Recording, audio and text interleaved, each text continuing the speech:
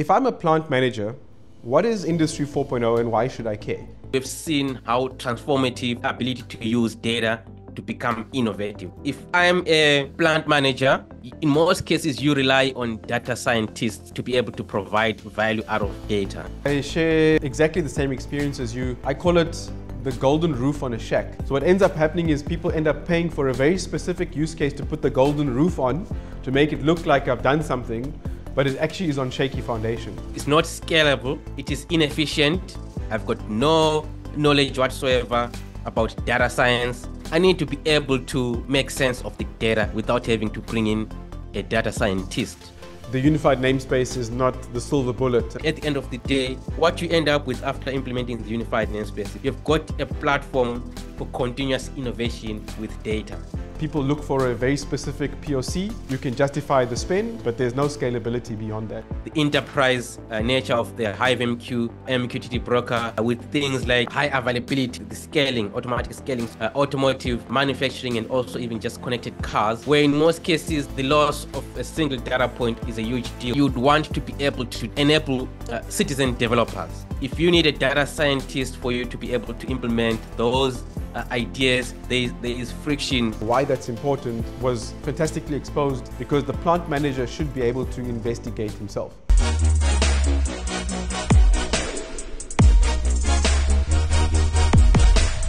In this conversation I had with Kudzai Manditereza, we tried to focus on what it means to tra digitally transform a factory from a plant manager perspective. I find many conversations are either too deep in the details about digital transformation or really at a consulting block layer perspective, which doesn't really translate into practical outcomes. But in this conversation, we try to focus in, if you're a plant manager of a factory, what now, how do you go about digital transformation, and why is it so important? One of the key outcomes that, that came out of the conversation is that if we don't define and get the data layer right within your factory, digital transformation and innovation becomes very difficult. And many uh, factories focus on single specific outcomes without understanding the foundation uh, of a digitally transformed factory. It is a must watch for any plant manager. If you enjoyed this, please like, subscribe, follow. Kudzai, thanks for, for joining me. It's a fantastic honor to have you on our podcast. I mean, I've been a, a, a huge fan of you for maybe two and a half years. And I think I bumped into you, was it at, Hannah, at, at SPS last year, I think. Yes, yes. Um, and I was like, yeah, that's a familiar face, and I, am I'm glad that we actually got to shake your hand and, and, and, and meet you. So I think there's uh, two, two things that I found really interesting. Number one is we're from the same country. Uh, and I, I, I would, uh, you, you, always try to look back and, at successful people from your country and you, you relate. So that was pretty awesome. Uh, and you're in a similar space to me in, in terms of manufacturing tech. Um, and you share a lot of knowledge. I've learned a lot from your videos. Um, and so maybe to kind of set the context of this podcast and what we're trying to achieve with the podcast is, is not to go too deep into the details, because I think your podcasts are really detailed and, and, and useful for somebody like me. But at the same time, to not be at the surface level, I call it the consulting layer, right? That talks about stuff at block diagram level and theoretical things but I think there's a need for the middle ground where you take practical knowledge from people that have you know, been on the ground, been there, done that, face the realistic challenges, you know, because there's a reality to all of the stuff that you talk about in block diagrams, um, and try and pitch a, a story to a plant manager. So a plant manager is on the ground running a production facility. They understand technology of their process in their factory, whether it be you know, food and beverage or you know, a casting process. But they also want to transform to this new kind of technology. So I'd like to frame today's conversation with that in mind. And so the first question I've got for you is, if I'm a plant manager, what is Industry 4.0 and why should I care?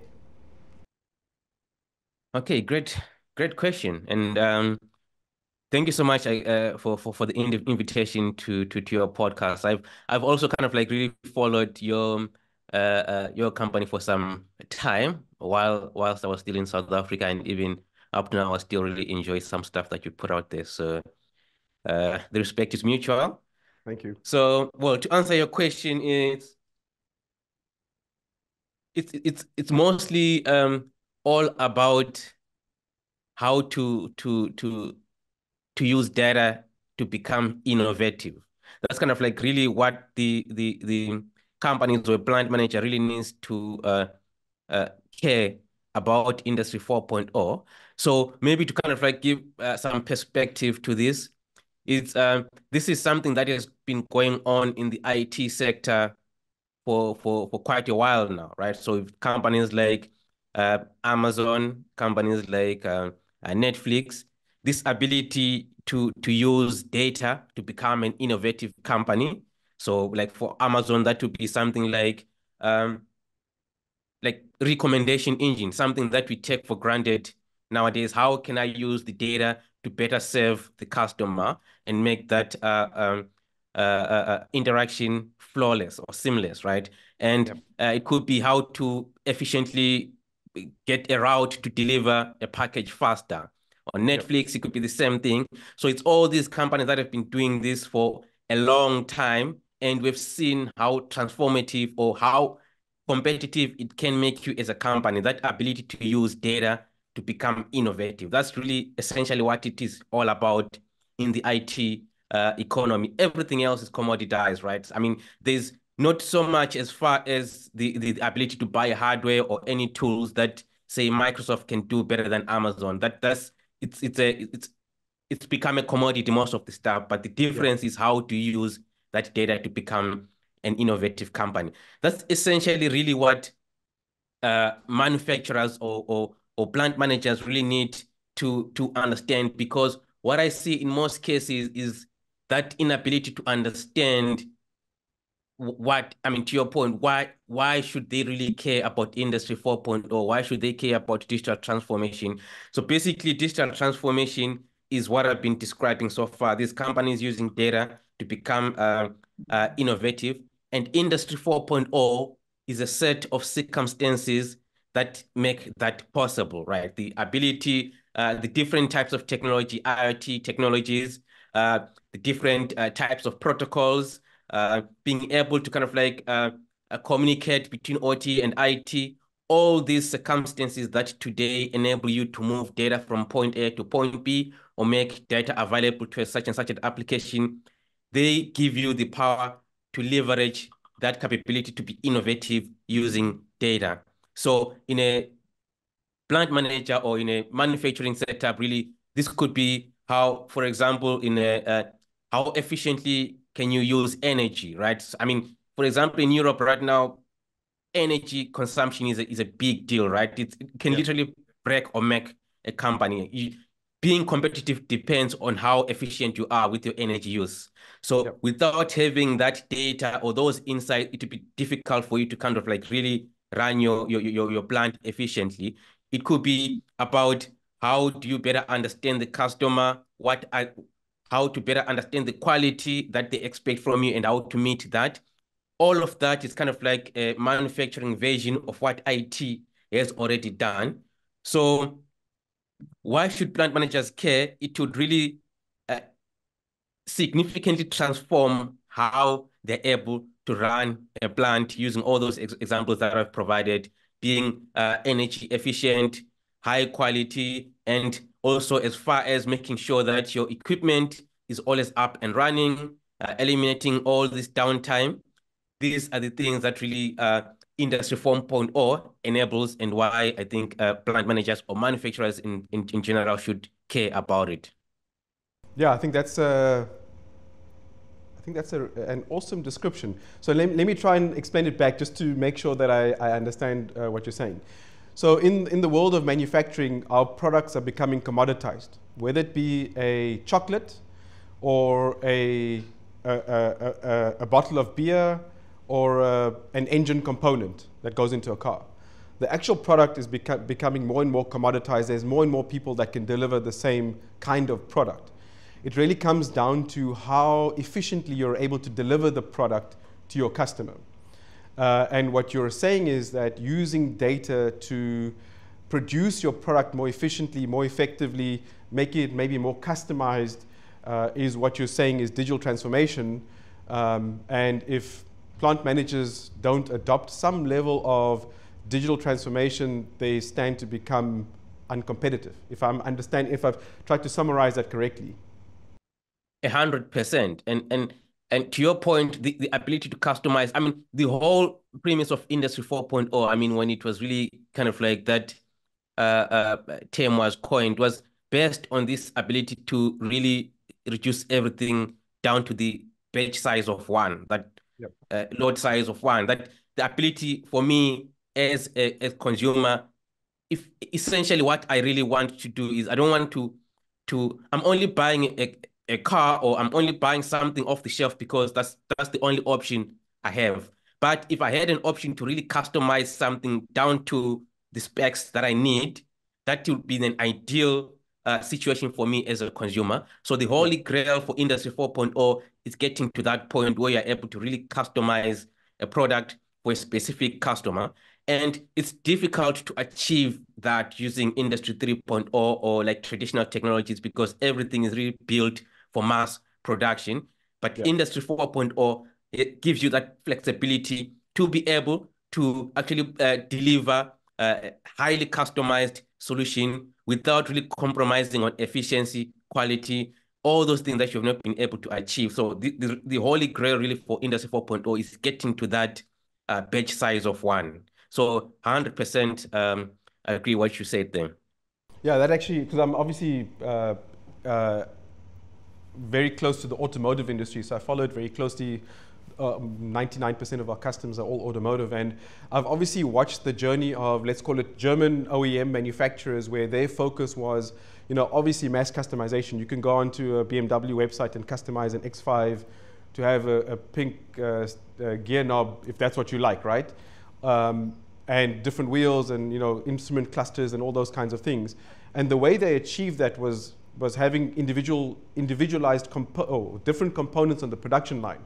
So as the car came through the production assembly process, you would you know, add on what Kudzai ordered for that car. In contrast, if you look at Tesla, they, they seem to have uh, not gone away from that completely, but you can have a level of customization, physical customization, but generally speaking, the car is pretty standardized. And what they've done that's really interesting uh, is to customize it to Kudzai's requirements, you can change the software in the car. So for example, park distance sensors are standard in the car. Whether you enable it or disable it is, is whether you've paid for it or not. But the production process, all cars get park distance sensors. So there's, um, I think, uh, to your point about batch size one, it comes down to combining your production process as well as redefining the product that you're producing um, that can be maybe more software defined, as obviously one of the terms that's gaining some traction now.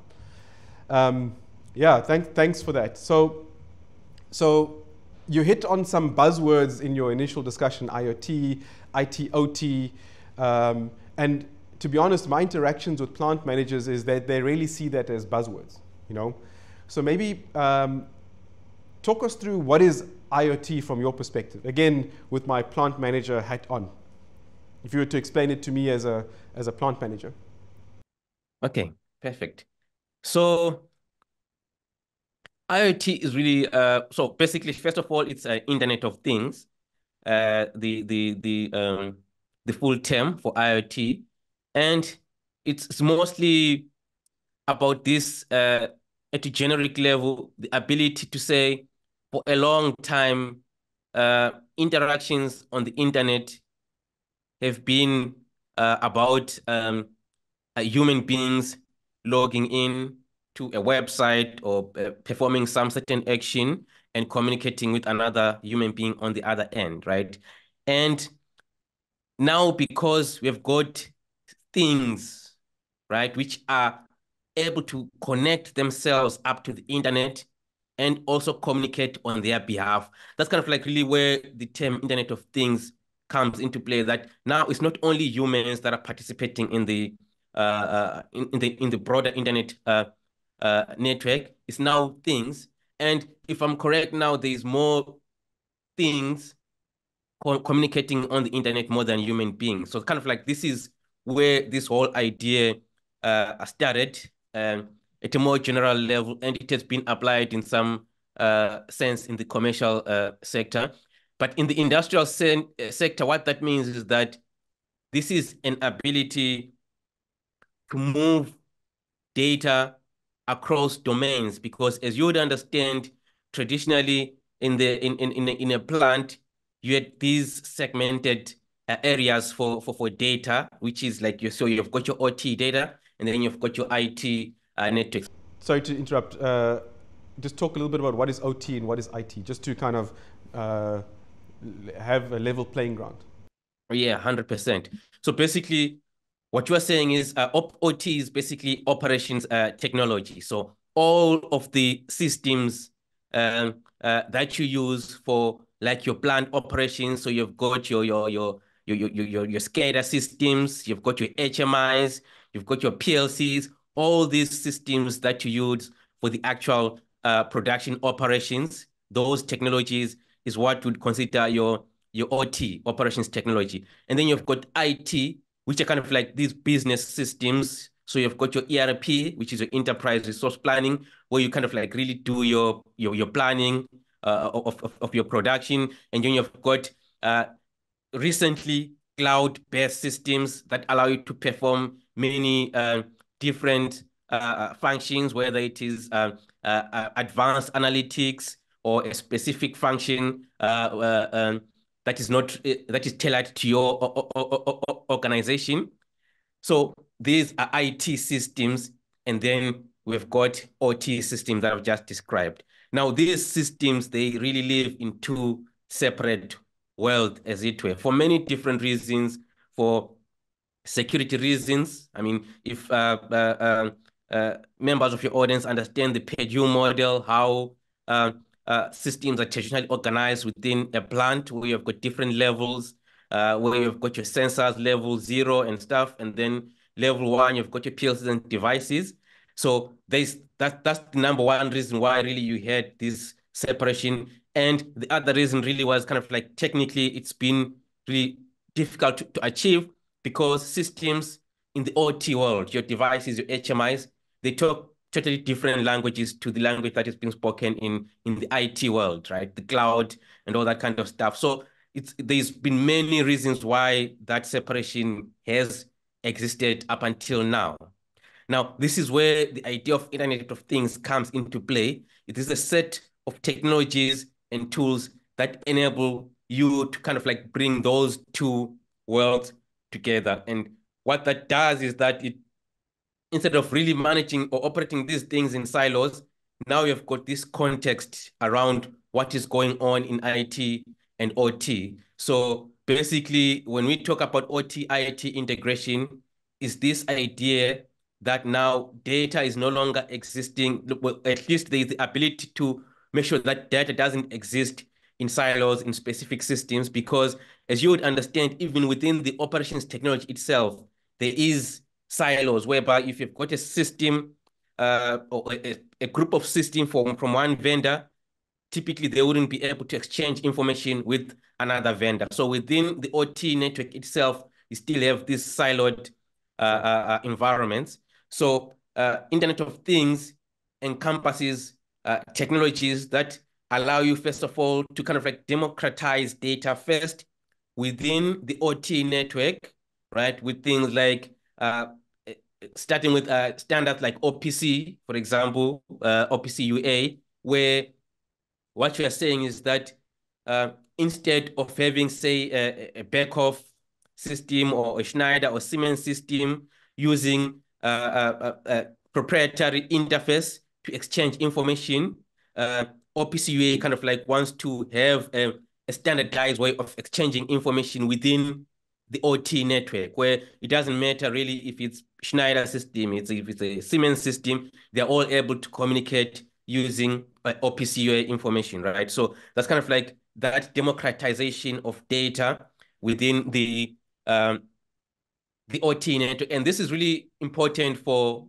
a plant manager because what that means is that you you you it gives you the the freedom to use the best set of tools, right? Because now the situation is that you you, you are only purchasing a piece of software because that's the software that works with a certain class of PLCs. It's not because it's the best software on the market, right? And yep. this kind of like really uh, limits you in how you can uh, be efficient or innovative. You're only circling with what's there because that's the only software that works with a certain set of PLCs.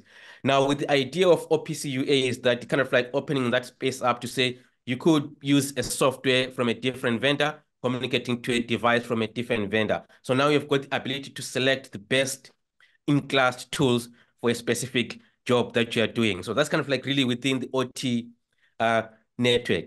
Now, moving your data from OT to IT, where now you kind of like really wants to bring your enterprise, build a context around your entire enterprise. You've got another set of communication protocols or interfaces that allow you to uh, integrate data from OT into IT. This is where we talk about uh, protocols like MQTT that give you this, this um, ability to, to integrate data at scale, even across geographies.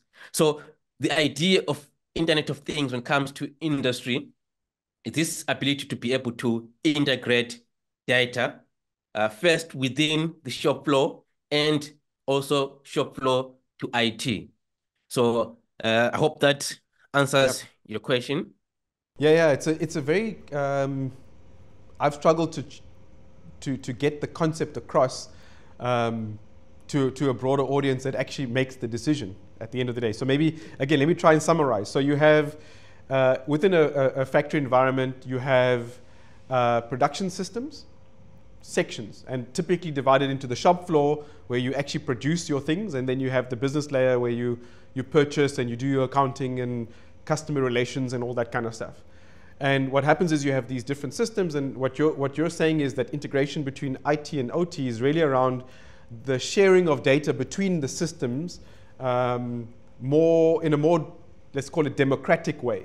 So you're not locked into one particular brand of, of software uh, because it's locked to one type of PLC, and you're not locked into one type of ERP system uh, or solution for an ERP system, you kind of have a democratization of the data so that you can then connect different solutions, best in class solutions, to make use of the data. If I'm trying to summarize what you just said, right? A hundred percent. And maybe to, to go back to my uh, earlier analogy or comparison with the IT sector. So, for example, when Amazon is gathering data, well, like actually, what makes it easy for Amazon to gather data is because it doesn't matter for like whether you're using a, a, a, an iPhone, whether you are on a on a on a, a Windows PC, whether you are running your system maybe on a server in China or whatever whatever technology it is that you are using, IT has already established these standards of communication that make it not really uh, important, like not really of concern what what system or what what what vendor is providing that system. So that ability allows them to collect data and be able to then use the data with as little friction as possible. So okay. when it comes to industrial IoT or industrial sector, this is where you've got a whole lot of friction because data exists in silos behind proprietary interfaces. So the first step is really to kind of like break those silos apart and make sure that data is democratically available to all the different systems that want to act on that data. So 100%. So, so you're saying that the IT sector has is a step ahead, well, uh, many steps ahead, and the OT or the shop floor side can take some lessons from that.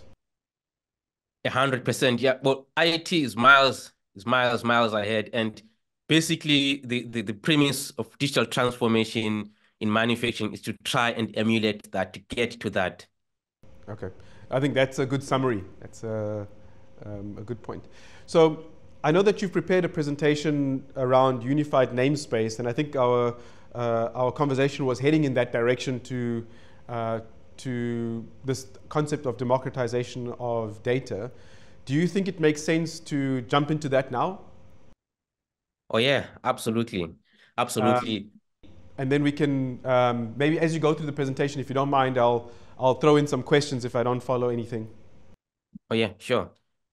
That works much better. Now we're gonna go into the um, presentation about the unified namespace, uh, how it enables digital transformation in manufacturing. And this is kind of like uh, one of those, um, what you normally call uh, uh a buzzword, right? And so maybe I'll kind of like set the context here uh, before I really dive into the uh, presentation, just to talk about why, at least me, I'm kind of like excited about the unified namespace, or I'm kind of like really advocating for um, the unified namespace. So, I mean, I, and it's not, so I, am developer advocate for HiveMQ, so I'm, I'm, associated with HiveMQ, but you kind of like give you a, a sense of how how much I sort of like uh, believe in this kind of approach to data architecture in manufacturing. I've been, I I, I think I wrote my first article on uh, MQTT in uh, 2014, 15, and wow. that is kind of like 10, almost a decade, and that was like seven years before I joined HiveMQ. So for me, it was clear from the onset that this is kind of like really where uh, uh, uh, things need to go. Like I, I had that conviction because I I started out in the um, industrial system integration in, uh, in, in, in, in South Africa, where I would go into, so previously I was in embedded systems design with some software development and stuff. And I would go, when, when I started going into factories, I, I, I was stunned. Like I was shocked at the level of the way things were still being manually uh, uh, uh, uh, performed, or like having seeing people walking around with pen and paper. And so I, it feels like for me, I thought maybe I was being naive, right? This is basically how it needs to happen, right? So for some time, I kind of like really just uh, played along uh, until I got to really understand that okay, manufacturers actually would would actually want to do it better, right? Given a chance. This is not it's not it's not because this is kind of like really how it needs to uh, to happen. So that's why I started to kind of like go into this space to find out, okay, so now there's there's value in really uh, automating this stuff as far as uh, data collection and insight is concerned. When I started to investigate more about um, data integration technologies, Internet of Things, and all that kind of stuff. This is where I bumped into technologies like OPC UA and OPC UA. It was already well known in the um, in the industry, but to my surprise, I mean, even up to this day, OPC UA is still being used for data access, right? Whereas yeah. OPC UA has got this sophisticated information modeling capability, which I really find so compelling because it really allows you to describe uh, the complexity of an industrial setup. And that's why I really went went, went like um, onto some kind of uh, uh, rabbit hole in, in really exploring this technology and and, and uh, exposing it. Same applies with MQTT. So I've been kind of like going through this for, for, for a long time and trying to understand different architectures. Now, I, I, I say that to mean that I've not come across anything that is close to what unified namespace uh, uh, uh, uh, advocates for.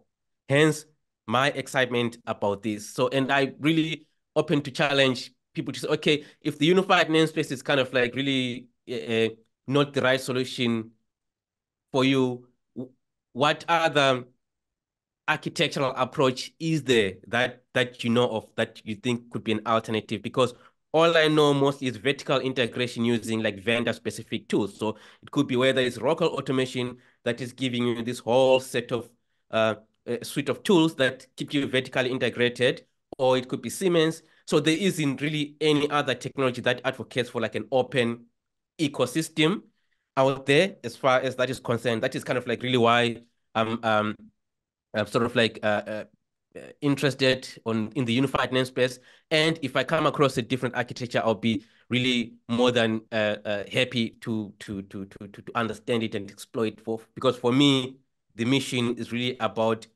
how to enable manufacturers to um, to use data to become innovative. That's kind of like really for me what is uh, the mission. It's irrespective of uh, the technology that is being used there. So that's kind of like a, a, a, background uh, to give you the reason why uh, I, am making this presentation and I continuously uh, preach about uh, the unified namespace.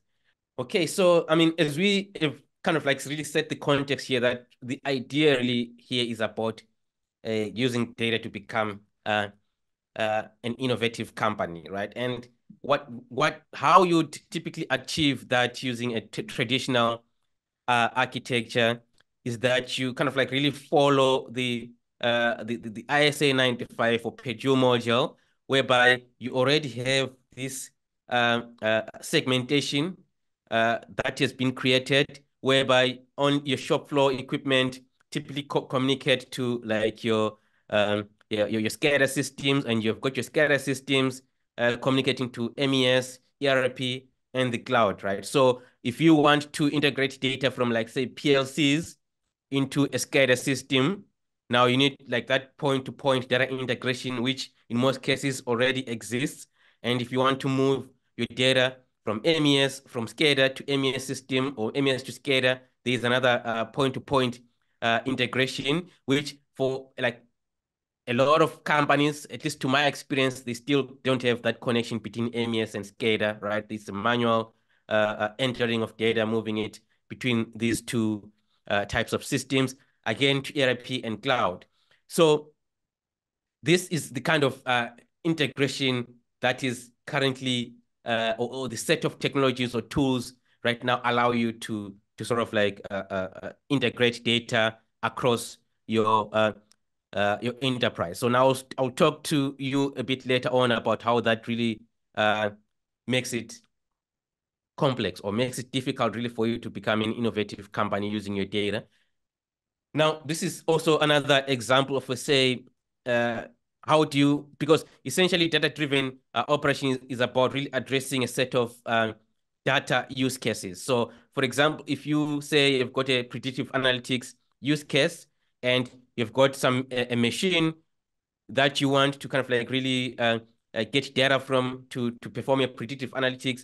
So typically what you do is you connect up to that machine. So like it's a point-to-point -point connection, get that data out and uh, build your, your, your predictive analytics application. And if you need to do for that, that for this different type of machine, you need to go through the same process, connect to that machine, contextualize the data, move it to predictive analytics. Now, as you can see, all of this is happening in silos. So again, you've got another use case that you're doing for OEE, you do the same thing, and, and so on and so forth. So all of these use cases are being addressed uh, independently. So what that does eventually is that it really creates this spaghetti architecture where you've got different systems trying to collect data from many different systems using point-to-point uh, communication protocols. And then as you can already imagine, this really becomes a nightmare as far as um, um, managing the system, because first of all, you can't easily replace one part using another. So if you've got a software that is directly uh, connected to a PLC using a certain, certain set of uh, protocol drivers, it means you can't just remove that PLC and replace it with another. You need to write a new set of, of drivers for you to get data from uh, that PLC, right? So this is a whole lot of engineering effort just to get data out, right? So, and engineering effort really means cost. So a cost really means that it becomes difficult for companies to even really go through with it.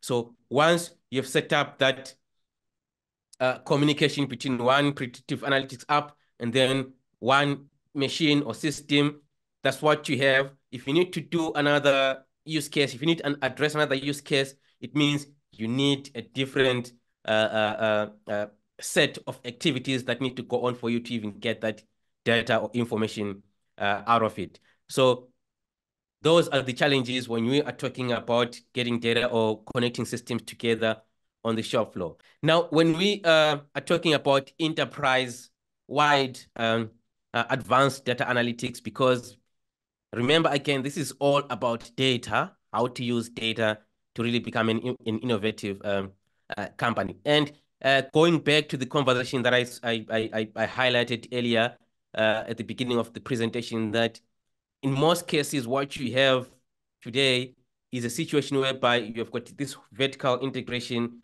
of data, where if data moves from uh, uh, a PLC of such and such a vendor into a system of such and such a vendor. And then the idea is to eventually land that data into some data lake uh, uh, in the cloud, right? And yep. this is not only a, a problem of industrial uh, sector as it were, by the way. This is also a challenge even in the IT sector, whereby data has been, uh, uh, the approach to data analytics has been that you collect data from all these different business domains, you dump it into a data lake, and then from there, you bring in the data scientists, they go through the data, and then they start to address those use cases that you need for you to uh, operate your business better, right? Yep. Now, this is a, a, a, challenge. This is a very big challenge, both for the industrial sector and even for the IT sector. But for now, we're going to focus on the uh, industrial sector uh, for many reasons, right? Now, the number one reason, first of all, is um, again the topic of the lack of that ability to uh, the seamless data integration. Because if you are integrating data from say uh, uh, uh, system A into system B, there's in most cases a lack of context. You really need to transform that data to actually match the context of the uh, destination uh, system.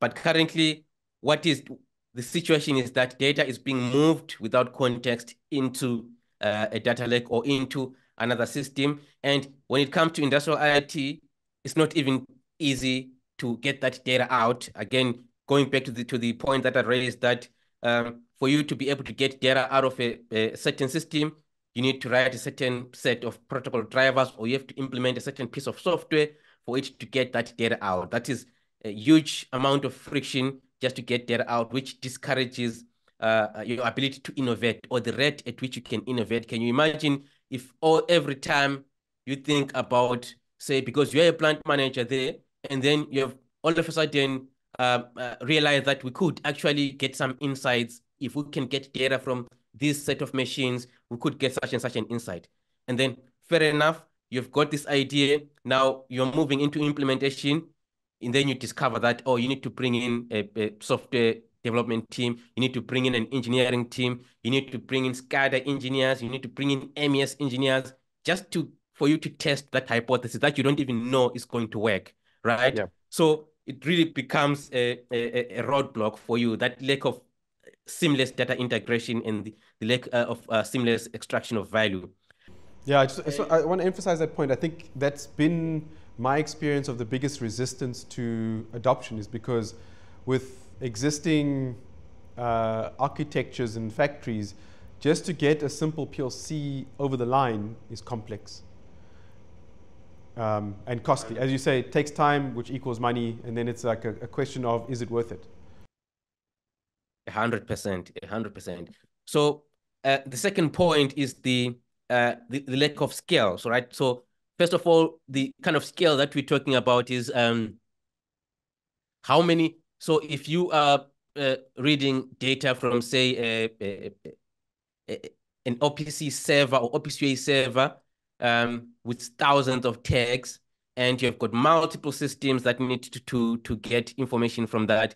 And they all need to connect directly to that specific data source. So if you've got like 100 applications that need to connect to that one server for it, to, for, for, for those applications to get information out of it, you can already see that this is something that is not going to scale easily because if I'm application A, I need those 500,000 tags. Application B does the same process to get 500,000 tags and so on and so on. Already you, you, you've got 100 PLCs replicating the same thing. So it's not a scalable uh, way of getting data out of these systems for enterprise-wide integration. And if you think about the spaghetti architecture that I presented earlier, the more you add these systems up, even across different geographies, the more impossible it becomes for you to even really integrate and even manage these systems to know exactly if ever there's a, a fault or you need to change whatever the case may be.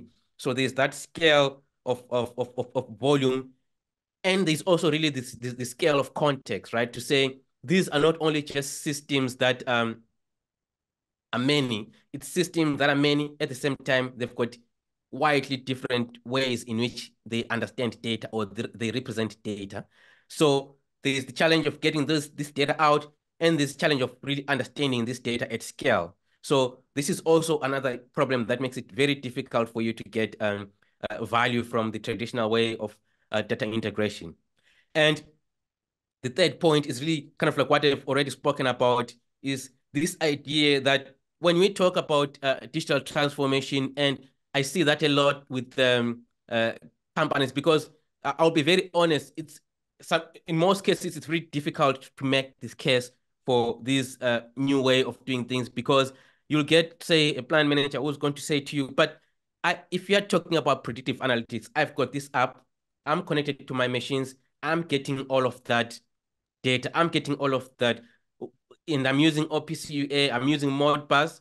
What, why do I need to uh, change that to MQTT or why do I need to put a unified namespace? So they can't really get that because they're already getting value out of whatever it is yeah. that they've done. But what they, in most cases, fail to understand is a bigger picture to say, this is a project that maybe you are you're excited about and you're getting value out of maybe for say six months, right? And after that, what happens next? Now you're only solving one problem in your organization now you need to solve problem number two, which is actually the, in most cases the the, the the the situation, right? Because we, you don't solve everything using just one solution. Now you need to solve problem number two.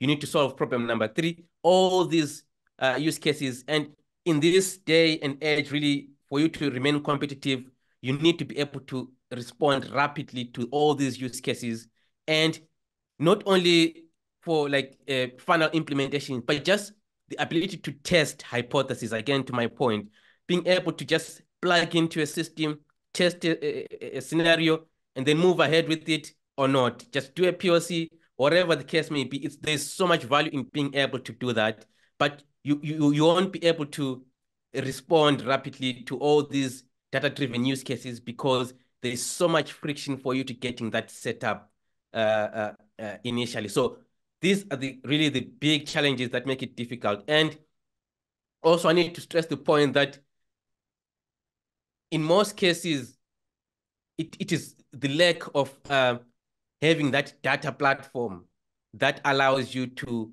able to just kind of like get data that is readily available, which is kind of like really what I'm going to talk about um, uh, uh, in the next slide as we go into um, uh, the unified namespace topic. Yeah, because I just want to add to that. I, I, I, share exactly the same experience as you. I call it the golden roof on a shack. So what happens is you have these factories that are, their foundation is built on shaky foundation, uh, but the, the use case is a very specific one that somebody's willing to pay for. So what ends up happening is people end up paying for a very specific use case to put the golden roof on, to make it look like I've done something, but it actually is on shaky foundation. And I think that's to your point, is that I think, uh, and I think the challenge is, uh, and I've made numerous presentations on this, is that I think the foundation is not sexy enough for people to pay for. Yeah. Um, it is it is the foundation that that nobody sees, that you can't you know you know tangibly explain the value to, but it, without the foundation, you won't transform your business you'll get many golden roofs, and eventually you'll have many golden roofs, and eventually the roof will be too heavy for your shack, and eventually it'll fall down. Um, and so that's the analogy I tell a lot of people. The golden roof was, I, I, was explaining this concept to one of our customers, and he said, he came up, he came up with the, the golden roof analogy, and I think it's, it's, it's exactly what you're saying, is that the people look for a very specific POC to add that, you know, you can justify the spend, but there's no scalability beyond that hundred percent. It's, it's it's a very uh, very very uh, correct um, uh, analogy that uh, golden roof, right? So it's something that you can. It's easy for you to kind of like go to to leadership and say, look, we've connected this up. We are getting all this information, but I mean, you don't really the leadership doesn't know that there's no foundation to this. You can't build on top of that. You can't even use that uh, uh, in context with other applications that are running within your your your your your your, organization. So I really agree with that. Um, and, and the goal of the podcast is to address exactly that: is to create a level of uh, or the, the, the, the way we should pitch this podcast and my hope podcast in the future is at that level of leadership that need to be explained to about unified namespace as a foundation, uh, as an example. Yes, 100%. So yeah, I mean, this kind of like really uh, gets us to um, the unified namespace itself. So I've spoken about a whole lot of different uh, uh, uh, challenges. So um, for example, I'll start with the challenge of being able to uh, respond rapidly to, um, to data-driven use cases. And um, one of the big uh, challenges really, or, or, one of the reasons why that challenge exists is that in most cases, you rely on data scientists to uh, to be able to provide value out of data, and this is it's, it's not scalable, and it is inefficient, um, because what typically you'd want to be able to do in an organization is really uh, enable what we call uh, data um, uh, citizen developers, right? So if I'm a, a, a, plant manager, I've got no knowledge whatsoever about data science. I need to be able to make sense of the data without having to bring in a data scientist, right? And that's really what will make uh, you innovative because the idea is in your brain. You want, you have got an idea of how you could actually understand how to perform better. Now, if you need a data scientist for you to be able to implement those uh, ideas, then there's, there's, there is friction there. there. There's big amount of friction and you're not able to, to do that. So the, the idea is that every domain within your organization matters and they understand the data better, right, than the data scientists themselves. So the idea really here is to say, first of all, is kind of like uh, um, uh, decentralize the ownership of data. That is kind of like really a, a, a crucial aspect of the unified namespace to let the people who understand it better be the ones who actually uh, create or, or the analytical data, the kind of data that really gives them the power to analyze what is going on, say in the shop floor whatever the case may be. So I will kind of like really explain that more to say, if you are an automation engineer, so you kind of like, you really understand all, first of all, where to find the data. Number one, you understand where to find the data. If you take that data, raw data as it is, and move it into a data lake, you hand it over to an IT person who has no idea what this data point is or, or where this temperature data point is, is, is coming from a, a, boiler or what. There's so much context that, that uh, uh, uh, data scientists or IT personnel does not have around the data. So the idea is to kind of like move ownership, data ownership to the edge of the network, to the domains, right? So if you say again, uh, the example of an automation engineer, they are the ones who understand where the data is. So they are the ones who need to, first of all, provide context to the data. They are the ones who need to say, okay, this is a model, this is a pump, this is a, a, a, a, current from a such and such a pump, and then they that data needs to happen within that domain, and then it is pushed into a common data infrastructure as a product. So it's now data is as a product. So this is a different way of thinking about data as a as a byproduct to say, because that's kind of like the the the the approach that we're still uh, getting right now to say we have we've got a production process here, and we happen to have data, and let's just collect that data and put it into some data lake or some store or some warehouse somewhere, right? So that the first part is to kind of like really change that mindset and look at data as a product, right?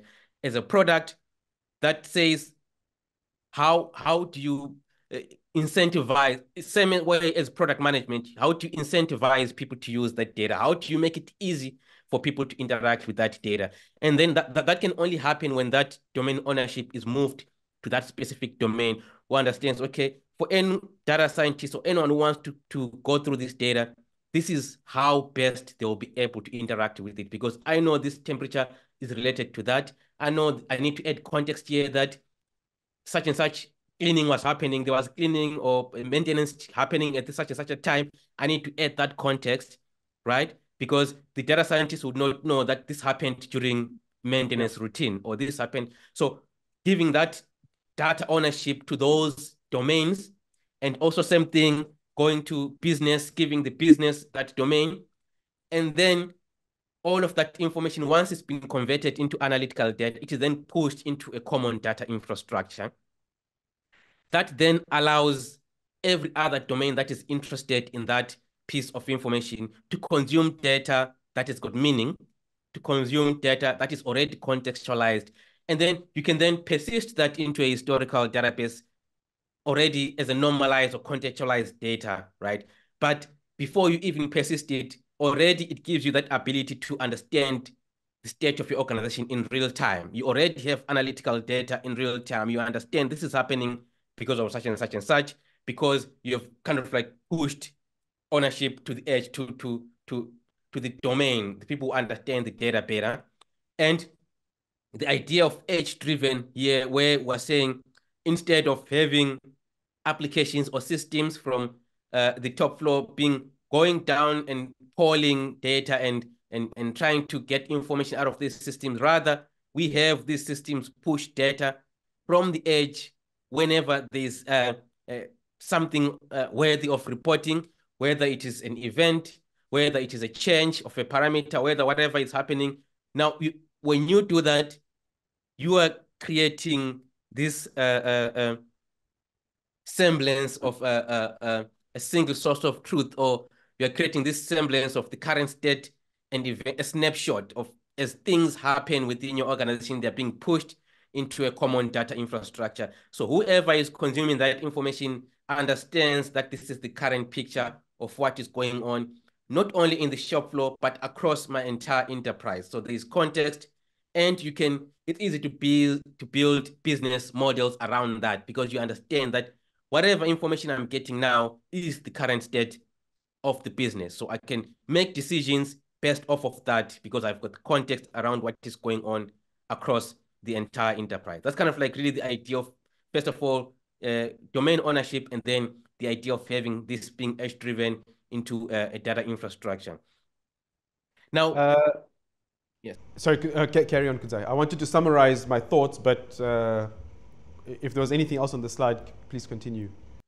Oh yeah, sure. And then now what I've just described is is nothing special, right? This can be achieved using even existing uh, uh, systems. Now, what is different with the unified names is, is that it advocates for an open architecture. Now, if you're going to do that, you need to use an open architecture. You need to use open and freely available uh, interfaces or standards, right? So that anyone who's got a PLC, they can just implement that specific standard, whether it's MQTT, and it will be able to consume information uh, easily or publish information easily in a way that is commonly understood across your entire enterprise. So whether it's uh, analytics applications that are in the cloud, they understand MQTT, whether it's PLCs that are using MQTT. So that, that is very important to have that open architecture that allows you uh, to plug in systems. So if you're going to buy a PLC, you want to be able to just plug it into your network or data infrastructure, point it to a certain uh, endpoint, and then it just pushes that information out, right? That ability to be able to do that really allows you, again, going back to the point of just selecting best-in-class tools and then plugging them into a data infrastructure because you understand that almost every other system or every other component will understand the, the, the will be able to understand the message and interpret it because it's using the same set of open standards. And the last point here is the point of federated uh, uh, uh, data governance to say, in as much as we spoke about this idea of pushing domain ownership to different uh, domains, controls, operations, business, applications, informations, we don't want, it's easy for that to turn into uh, like wild wild west where everyone people are just defining their own models or defining their the own their own way of understanding data so you are giving them that um, autonomy but the idea of federated, federated data, data governance is to put guidelines of data modeling or representation of information across your entire enterprise. You're not just kind of like just letting people define things up however they imagine it, because again, it, it's going to defeat the purpose if it's only understood within that domain. You want it to be understood in control the same way it is understood in business domain. So the idea of federated governance is to put in those guidelines that say across our entire enterprise, this is how a compressor should look like. This is basically yeah. what, what, what we expect a compressor to look like. Across uh, our entire uh, organization, this is how we expect a, a, job or an order to look like, right? So this idea of federated governance to put in those specification, your own uh, custom specification for your enterprise about how the interpretation of data should be done is another layer that you add on top of that ability uh, of um, decentralized uh, data ownership. Yeah. I think that's really, really an important one because, uh, like you said, it can become the wild, wild west otherwise. But, but let, me, let me just try and summarize that because there's some key things that, that are resonating with me. The first one was the domain ownership. So if I summarize, and please correct me if I'm wrong, is if you require a data analyst in your factory to go and investigate a particular thought process that a plant manager might have, then they've logged, they've recorded the data incorrectly without context because the plant manager should be able to investigate himself. Right? If, if, if I'm understanding the, the first part. The edge driven is really around, uh, um, I think the common word is report by exception. So you are reporting up based on specific events. You're not, you're not coming down to look for the event. So the, the, the system on the ground is sending up information as opposed to querying information from, from the top. Um, and as, as we said, federal, uh, federated data governance is setting the, the ground rules and principles on which uh, you will define objects in your, in your factory. So like you, you mentioned a compressor, this is what a compressor data looks like. It means temperature, current, time on, time off, whatever that looks like. So anyone looking at compressor data, whether it be maintenance or finance, uh, they understand that the rules, if you want, the guide rails of that data per object, if you want. If, I, if I'm understanding that correctly. Yes, 100%, 100%. And um, uh, just also to kind of add also on the issue, first of all, of edge-driven. so this idea that instead of systems coming down in the shop another big advantage that kind of like really um, a lot of people miss is that if you are requesting data, when there is a network break, right? In most cases, that information is lost, right? That information is lost, but if it is edge driven, it, it, it allows you to buffer that information and then republish it when when when when the, uh, the communication is reestablished or or whatever the case may be. So that's yeah. another also advantage of um uh, of edge driven, and also on uh, uh fed, federated uh, governance. Hundred percent agree uh, with you there. Just kind of like setting those um, uh, guidelines, those rules, um, but at the same time giving that autonomy.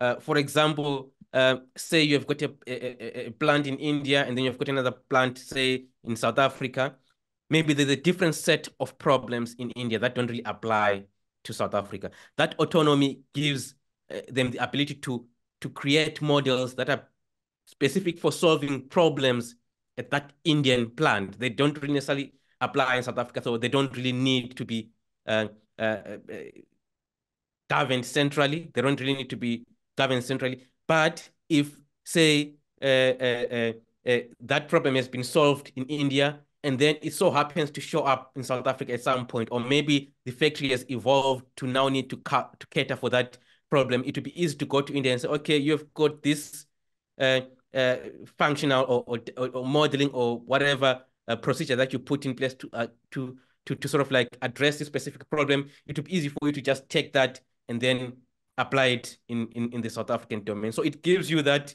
autonomy to solve pro local problems, but also gives you that universal uh, uh, uh, uh scale, as it were. Got it. Got it. Okay, so um, let's see. So again, this is kind of like really uh, not really uh, going much into detail with MQTT protocol because uh, I recently also put out um, a, a, a, post on LinkedIn about why MQTT because in, in, most, cases, um, people will come back and say, but from what you are, the way you're describing the unified namespace is not, it's not a protocol, it's not, it's not something that is, it's sort of like an abstract concept, right? This can be really be done using anything, right? So uh, in most cases, so this is the reason why I put out that post was kind of like try to explain why MQTT is kind of like in a way becomes synonymous with the unified namespace, right? So MQTT basically is a communication uh, protocol or a mechanism of exchanging information uh, within different uh, systems by um, uh, creating a central server, which is called an MQTT broker that handles the coordination uh, uh, of information between separate uh, or different components. So it's different from like you say uh, a request response whereby say if you're connecting to a PLC, you need to have a direct connection that points to a specific IP address that PLC uh, exposes and that points to a specific tag or object within that PLC. You need to address it uh, specifically right? So there's this direct connection. So with the uh, MQTT is built on the pub sub uh, mechanism of communication, whereby uh, an application doesn't really need to know uh, uh, the the the source, like uh, detailed information about the source of that data. It just needs to point to the broker and say, okay, I'm interested in say the temperature of compressor A. Well, I don't really care what PLC is running that compressor. I don't really care what protocol, but the PLC will know that I need to push temperature for compressor to the broker. Whoever is interested just needs to make the broker aware that I need temperature from such and such such a, a compressor. But then again, obviously, this requires that you already have a, a, a, predetermined way in which you structure your your topics, right? So you understand because topic structuring. Uh, so topics a topic is basically maybe I'll call it a tag in MQTT whereby you've got like uh, the name and then you've got the value. So it's like a hierarchical uh, uh, way of representing tags. So it's called a topic. So the key advantage of having that hierarchical is that it really allows you to represent the the the hierarchy uh, within the plant. So if you've got say plant A, within plant A, you've got such, such and such machines. Within a machine, you've got such and such sensors it really allows you to break down the source of the data in a way that it makes it easily discoverable within the broker, which kind of like really adds the next layer of on top of that to say, if you then go an extra mile and standardize the way you represent topics across your enterprise, typically using ISA 95, whereby you are the way your organization organization is already represented, it then yep. allows give you that semantic uh, uh, that power to semantically discover stuff because you already know how your organization is structured. You already know that I've got, in, in my organizations, I've got plant A, uh, and then within that plant, I know I've got such and such area. Within such and such an area, I know I've got this. And then you, it allows you to uh, semantically discover information or be able to explore these buckets of, of, uh, uh of, of data sources within your organization and get this information so that's kind of like really why MQTT is become synonymous with unified namespace because it's got this tooling that allows you to explore data, that allows you to really explore this data. And also the fact that it's an open protocol freely available, anyone can implement it. And we have seen, you know, the funny thing about open standards is that in most cases, big vendors, they're not really uh, so much enthusiastic about um, open standards because they kind of like really uh, There's in no a way to be made. exactly, exactly. Yeah. And, and and the funny thing is that even in my interactions with um, some some vendors who are now rapidly uh, uh, implementing MQTT in their uh, PLC systems, and and recent I know recently I had SAP is going to be also uh, implementing an MQTT connector. Mostly, it's because they I get when I speak to them, it's because they are getting uh, requests from customers, pressure from customers was saying, we need this because customers are starting to understand the value of being able to have an open ecosystem where you can really purchase something, plug it into a network, replace it, and be able to interact with your data in a way that allows you to. So it's, it's now, I would say customers are becoming more and more informed by the day, right? And well, it's not at the level where I would say personally wish it to be the case. We still have a lot of customers who really don't understand that I or who don't really care, right? So a lot of customers, some of them don't really care whether there's interoperability. This is stuff that we get to geek about, right? But some customers they say, well, I don't, I don't care. I mean, if I just need to to produce stuff, right? I, whether this thing is a closed system, not inter, as long as it gets product out of the door for me. But we're moving into a, a an edge where customers are understanding that okay, we're actually leaving a lot on the table here by not implementing open standards. We could be so much uh, competitive. We could be so much uh, uh, uh better as far as efficiency is concerned. So that awareness is, is, is slowly creeping in. And I, I, I, I, I predict that now we're going to kind of like get an exponential, exponential um, uh, rate of adoption of these tools because it really it's it's, it's compelling the the, the the the the ability to innovate that it allows you to do so. So that's kind of like maybe going off tangent here on the MQTT protocol. So so because I just wanted to maybe just get my thoughts around the topic explanation. So let me try and explain it back to you so that, so that I understand. It's it is a way to describe a data point with context. So maybe if I give you an example. So we've got uh, GenderMark Global. We've got two factories, one in India, one in South Africa. So the hierarchy would be, uh, and, I, and I want to monitor the temperature of one of our CNC machines in South Africa.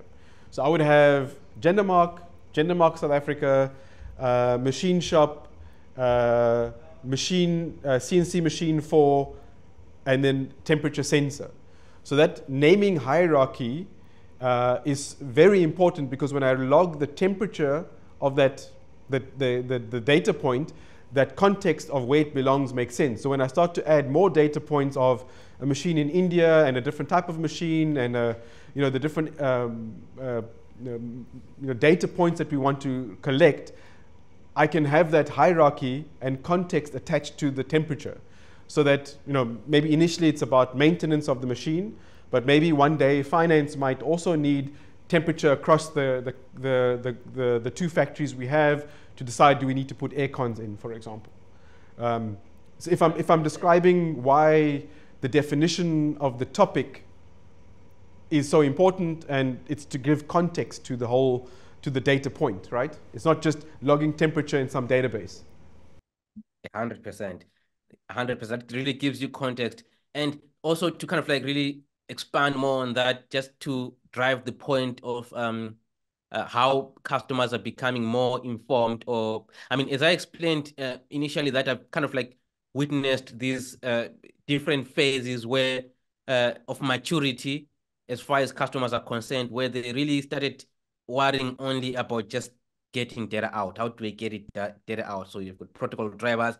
The next stage is how do i move it from point a to point b this is where MQTT comes into play. And then now we're at a stage where they're saying, okay, I can get data out, I can move it, I can do this, but how do I get value out of the data, right? So yeah. customers are maturing as we go about. And the reason why I'm bringing this up is that if you had, if you have uh, noticed around the uh, industrial IT community, there's now more the talk about graph uh, QL to say, okay, now we've got MQTT. It, it, it, you, you are getting a data point with context, right? So you've got uh, uh, gender mark, gender mark South Africa, and then you've got your machines. But what if I need to say find out uh, what is the relationship between uh, the machine in India and this machine in South Africa, right? So you might not get that in that MQTT topic uh, namespace because the MQTT topic namespace just gives you the hierarchy to say this machine belongs to this, to that, to that. But there's if you want to be able to say, I, want to find uh, uh, common uh, uh, uh, relationships between all machines that were built by say such and such a vendor, and I want to find, uh, you know, just be able to have to to to, to sort of like understand relationships that are not necessarily hierarchical. That is why we've been getting conversation about now we need to in, include graph graph uh, uh, uh, uh graphic QL into MQTT specification, which obviously is a is a controversial topic because now yeah. MQTT has really gotten to where it is because of its simplicity to really uh, move data, give it context, right? So this argument that this can be done on a on, on, on another part of the on the tech stack, right? Maybe not necessarily on the specification itself, because the, the MQTT specification really gives you the ability to represent a unified namespace where just the ownership of the of, of, of, of the machine, that context is enough for you to be able to understand your data. But then if you need to go an extra mile, you can then plug that into a graph DB and then be able to kind of like eh, get more value out of the data uh, from using. So this is kind of like just to explain how customers are becoming more mature and uh, wanting yeah, to understand. A, it's the right question to ask, right? So yes, I've collected contextual data. Now I need to use it.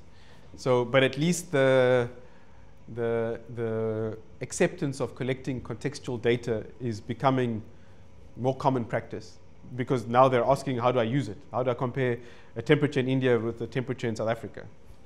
Exactly, 100%. Okay, so I've kind of really explained MQTT, right? So just for those maybe uh, that have come across Sparkplug, so sometimes it might get confusing. So it's because a lot of um, uh, people think that maybe Sparkplug is kind of like a, a, new protocol. So this is slide just to explain that Sparkplug is a, um, is a software specification. So basically, uh, what MQTT uh, does not do is that it, uh, it, it, it, well, it gives you the flexibility to define your your topic, right? The way that you want to add context to to a data point. So to your point, uh, uh, GenderMark, GenderMark South Africa, and so on and so forth. Uh, but this is not um, this is not a standard way of representing it universally, right? This is specific to uh, to your company. So what Spark Sparkplug does is kind of like define a consistent way of, of, of, of naming that hierarchy to say uh, there is a group ID which kind of like represent a logical grouping of um, uh, of, of, of uh, devices or machines that took MQTT, and then there is a, a, a, a, data type or sort of like type of, of data that that that is being carried by that message. So this could be uh, just a data type that is a, a piece of data that is announcing the metrics or the structure or the schema for you to prepare to receive that information, or it could be the actual metric itself that you are receiving. So you need to know that needs to be represented within the topic namespace itself, right? So that's what Sparkplug also defines. It also defines the devices and so on and so forth. So Sparkplug kind of like defines how a topic should be uh, represented to address all those different common challenges that you come across as far as topic uh, namespace is concerned. And it also defines the state management of MQTT clients. So with uh, with flat MQTT or just your regular MQTT, um, if say a device disconnects uh, all of a sudden, there is no way of knowing, right? So M MQTT does specify the last will and testament, but not all uh, uh, um, uh, uh, applications or devices will implement that, right? So what Sparkplug does is that it, it kind of like defines the state for MQTT clients. So if an MQTT client joins, according to Sparkplug, it is requested that it must publish all of the metrics that it is going to be sending so that it notifies everyone within that network that I'm I'm I'm such and such PLC I'm located in South Africa and I'm going to be giving you temperature and humidity. So all the PLCs, all the HMIs, all the SCADA that are connected to that network, they already know, oh, a new PLC has joined, is going to be giving us temperature and humidity. So that is all automatic uh, data management discovery, which is a really powerful way of Sparkplug and that you don't find with uh, regular MQTT. And if a application disconnects from the network, it also needs to send again a message to announce that this such and such has disappeared. So whatever data you've got is stale. So don't really make any crucial decisions based off of that. So that is the state that Sparkplug gives to, to, to, to MQTT. And again, the payload, because MQTT is basically a, a byte sequence. So it's just sends, if it's sending you a uh, a birth date or maybe a, a start date for a batch, it will send you a byte sequence. You don't really know it's a date or it's a temperature, whatever the case may be. You need to have a way already of looking up that somewhere within uh, your network to say, okay, this is a, a, date, so I need to represent it as such.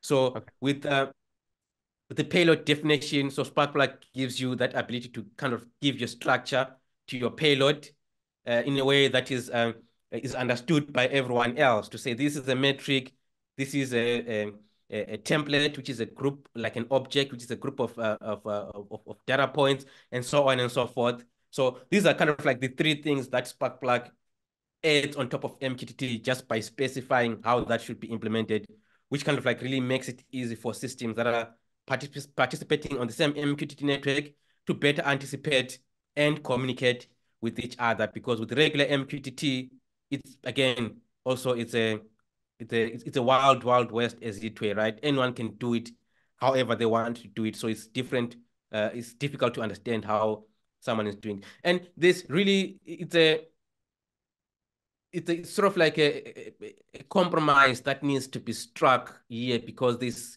still that that that flexibility of MQTT is what a lot of organizations find very powerful and they find the rigidity of Sparkplug really limiting in a way. So such that I've seen uh, companies that implement Sparkplug at the SCADA level just for the automatic discovery of devices and, and stuff like that. But as soon as that uh, uh, uh, uh data leaves the SCADA layer, they convert it into regular MQTT so that it, it is easily consumable by even IT systems that don't understood, understand Sparkplug because Sparkplug use protobuf encoding, which really makes it difficult for everyone else to consume that information without knowing how Sparkplug works. So there's a, a balance there that needs to be struck. So, so, from a plant manager perspective, because I think this is obviously too much detail for a plant manager, it would be if I if I am convinced that I need to uh, implement the unified namespace using MQTT, I would tell my IT team or the team that's actually implementing the group of engineers that uh, you must use Sparkplug as your as, as a guide. Yes, a hundred percent, a hundred percent. So Sparkplug is that guide that kind of like really gives you uh, uh, that uh, recommendation of how you should structure. Your, your, your, rules of engagement, right? Rules and right. engagement. So that other, what, other other teams can play with the same rules so that they can then yes. combine, right? A hundred percent, and maybe more, even more importantly for a plant manager, uh, the way to look at Sparkplug is that um, Sparkplug is mostly implemented using off-the-shelf uh, tools, right? And it's mostly about giving you the, the the ability to to automatically discover data points. So if you've got a new PLC, that you are installing in your plant. And that PLC is able to automatically say to the rest of the network, I've just joined. These are the metrics that I'm uh, going to be publishing in an instant. Typically, you'd have to go into the SCADA, put in the, the tags one by one. So if, you're, if I'm publishing, say, 1,000 tags, that needs to be manually configured in the SCADA system, right? You have to point to that, point to that. Now imagine if that is happening in an instant, just yeah. by plugging it into a network and putting the broker IP address, all of that is, is, is immediately happening. That's kind of like really compelling for SCADA level of operation. Yeah, for sure. And that and that that will reflect significantly on the cost. A hundred percent. Yeah. So basically, we're just kind of like going to to to just uh, um, breeze through this because it's kind of like really encapsulates what we have been talking about all along, whereby instead of having this spaghetti architecture that we saw earlier, now you've got all these um, systems pushing information from different angles, different directions, different domains into that central uh, unified namespace or central uh, location. So it could be Sparkplug or it could be flat MQTT. It doesn't really matter because the broker understands it as MQTT. You have to kind of like really know which information is coming from a Sparkplug namespace, which information is coming from a regular MQTT namespace. Um, maybe not a bad idea just to kind of describe what is HiveMQ.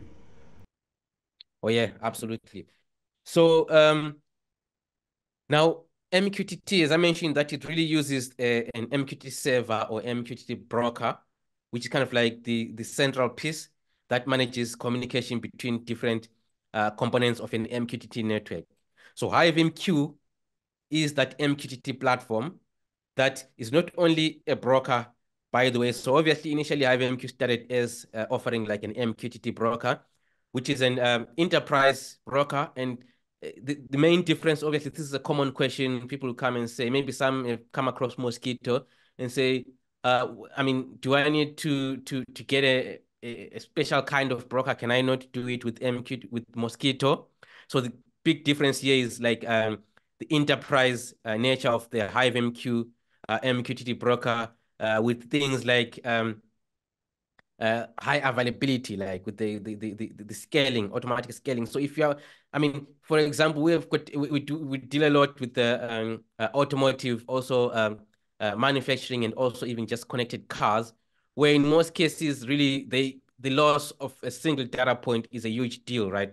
And yep. not just automotive, right? Even a lot of manufacturing, critical manufacturing companies where the loss of a data point is really a big deal. So HiveMQ has got this technology that allows you to, that guarantees you that not even a single message is, is going to be lost because as soon as the message is, is, is arrives, is, arrives on the broker, it is replicated and persisted on the hard disk until it has been acknowledged that this is um, a message has been received successfully. So th this allows you, gives you that guarantee. And then also, uh, because it's, it's, a, it's, it's, a, it's a horizontal scalability, it allows you to have your broker instances. So it, basically you've got, say, 10 brokers that are clustered and they look as if one because they're also, they're only just exposing one endpoint or one IP address. But in effect, there are 10 brokers behind. So if one of them fails, you still have nine brokers that are uh, running. So there's no zero, like guaranteed 99% uh, availability. And again, this can also be um, located in different geographies. So for some reason, if something goes on, say in Germany, and you still have some uh, uh, brokers still running in in the US, so you still have you've got this high availability and guarantee that. So HiveMQ is an MQTT broker for enterprise grade uh, MQTT uh, deployments. Of course, if you're doing a small POC, you can use Mosquitto, but again, also HiveMQ has got uh, HiveMQ Edge, which is like a small broker that is built for such uh, small uh, uh, use case or POCs or, or maybe just trying things out. So basically that is HiveMQ is based in Germany and um, it was uh, started in 2012. Okay. So let, let, me just describe the MQTT broker is just because you've got uh, a B in the logo, it's the hive, right? Um, and you've got your MQT protocol as the as the bees going out to go and fetch the pollen, the data, um, and uh, everything is coming back into the hive, uh, and the brokers managing the request respond, uh, the communication if there's a break in communication, um, and what you're saying is the differentiator with HiveMQ is that it's an enterprise grade. So you could have a, a multinational organization where you have a broker set up uh, in Germany, a broker set up in the, in the US, as you said. And if one broker in Germany goes down, for example, it can still function because you've got, let's say, a replicated broker in the US, uh, making it, uh, as you described, enterprise grade, not, not for the little POC on the side kind of thing, if, if I'm understanding correctly. Although you do have uh, an edge version uh, that can be used for POCs or small little projects, right? A 100%. And I mean, also the high availability and also the scale of it. So we recently did a POC at HiveMQ where we demonstrated that you can actually connect up to 200 million uh, connections at, a, at any given wow. point. That is like massive scale wow. and not not a lot of use cases actually, but that's just kind of like just to prove that point that this is this is how much you can connect to it. So which is obviously not able to achieve with small brokers. Some small brokers can connect up to 5,000 connections or yeah. 1,000, depending on the implementation, right? Yep.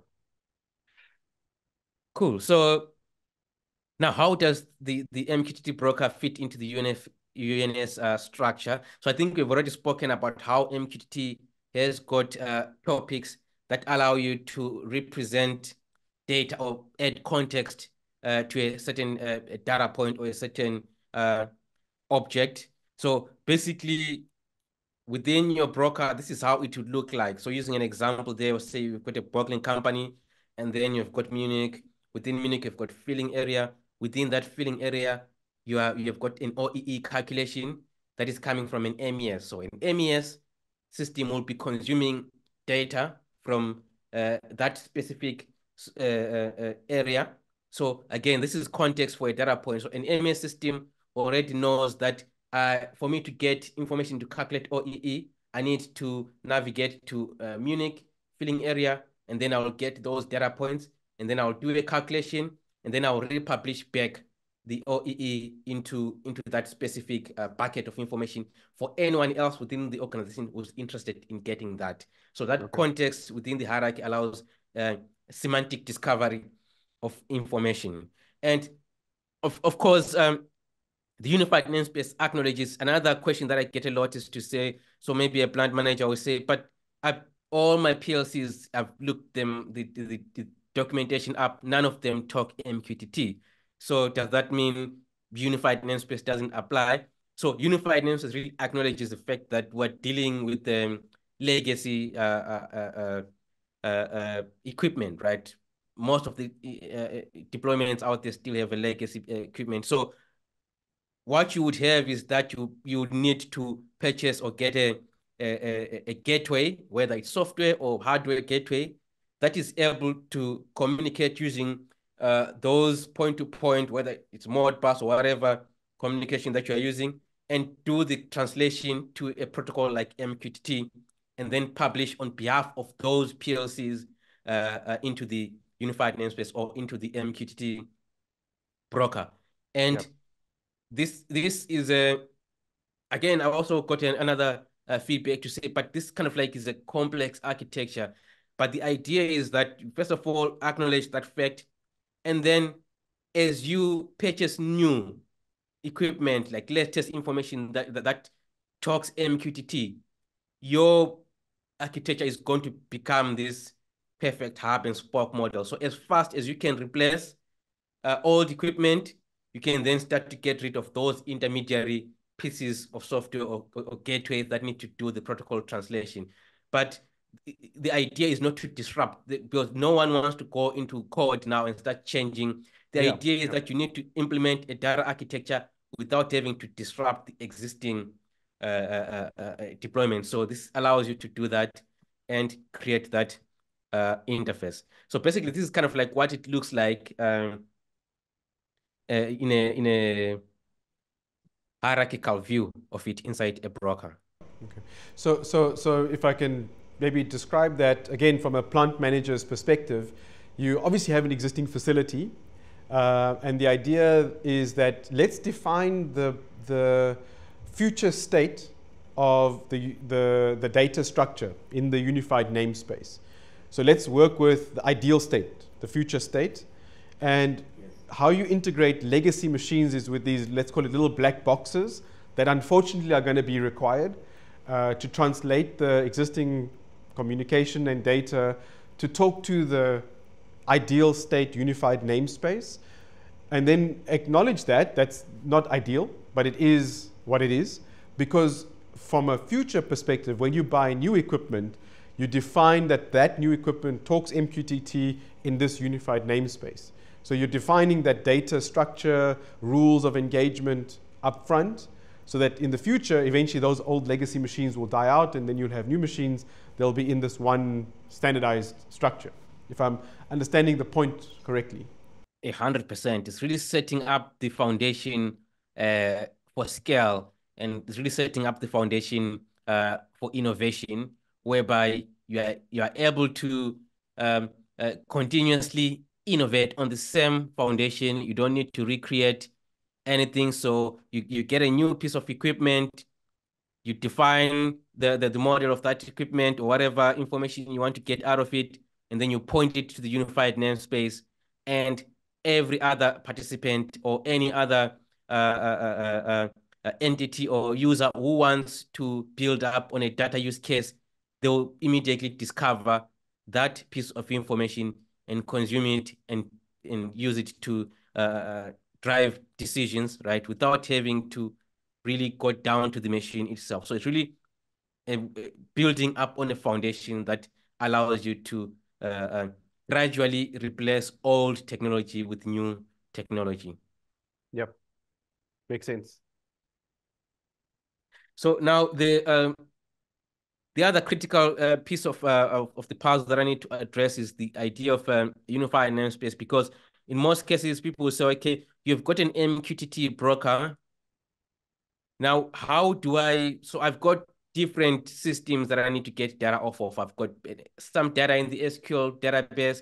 I've got some in the, in the CSV files. So not all information is necessarily coming from PLCs, right? So you still need to get that information out into the unified namespace.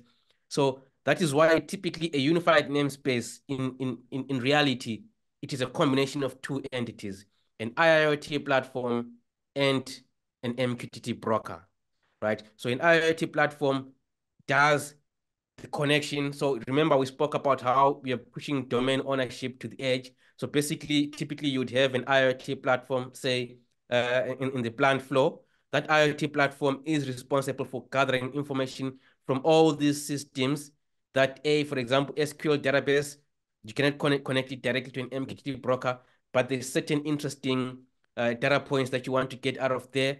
So maybe you want to add a historical context to say between uh, January and, and June, uh, we we we have got we had so much uh, uh, maintenance incidences, right? And then that information is published into the unified namespace as the current state, right? And it makes it easy for some other component that is performing a maintenance activity to have that context without having to go to the SQL database directly and look for it. It's already available within the unified namespace.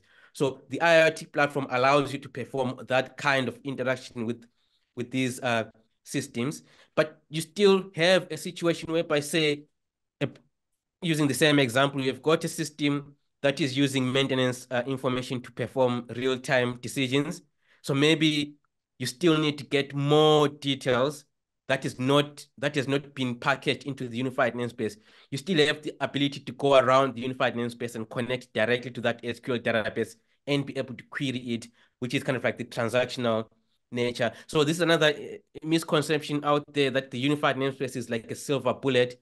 This is really not a silver bullet, and it's it's never been presented as such. But it's just that people or customers or whatever they when they pick up on a on a buzzword or maybe it's the marketing. It, it's presented as if this is the solution. This is the entire solution. Unified namespace is is like an event hub. This is where you get all the current state of your business. But you still need to perform some transactions outside of it, right? Because it doesn't give you that ability to uh, to, to directly go through a database and search through information. It's, it just gives you that snapshot. If you need more information, you can reach out directly to that particular application. And if you if the information that you were looking for that you couldn't find from the unified namespace, if you imagine that this would be of interest to like many other components. This is how it gets packaged up and then published into the unified namespace as a consumable. So yeah. unified namespace is a moving target. It's you're always pushing things to it, right? So you start by just pushing raw data, and then as you discover pieces of information that are of relevance to your entire organization, you start to package them up, connect to systems, push them up into the unified namespace.